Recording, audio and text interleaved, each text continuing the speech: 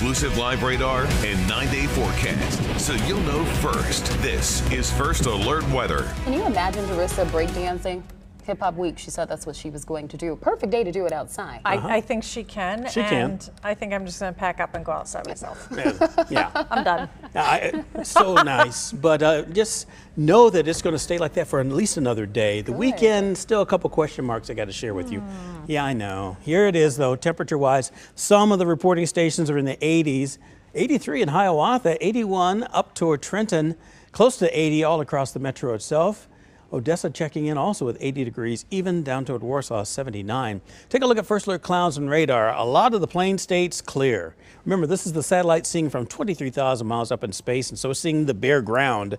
Other than that, we're seeing the cloudiness. That's the rain showers and thunderstorms. Not everybody got them last night, as we were talking about. That's what we mean by scattered. And the severe weather threat really went down even before the 9 o'clock newscast was over on KCWE. Now that thing continues to steamroll its way toward the Appalachians, taking along with it some showers and thunderstorms, but leaving us with a drier atmosphere clou- cloudy skies, that is, and cooler air that'll be moving in. But if you're heading out this evening, next couple of hours look fairly nice. 84 degrees by 6 o'clock will be at 83 by 7 p.m., falling down to the 80s by 8, and then 9 and 10 back into the 70s, but continuing to fall a little more than that by tomorrow morning. As a matter of fact, it'll be mostly clear. Low temperatures by tomorrow morning, upper 50s to near 60 degrees, 61 for Kansas City, 61 for Ottawa, 63 degrees for Odessa. Sedalia, I've got 62 for you, as well as 61 degrees for Marshall. A fairly nice, comfortable start to the day. Humidity's still lagging behind, so again, it will not be one of those if you're going to be out trying to jog or do any sort of exercising. You're not going to break a sweat that uh, readily. It'll be a little more difficult for you to do just that.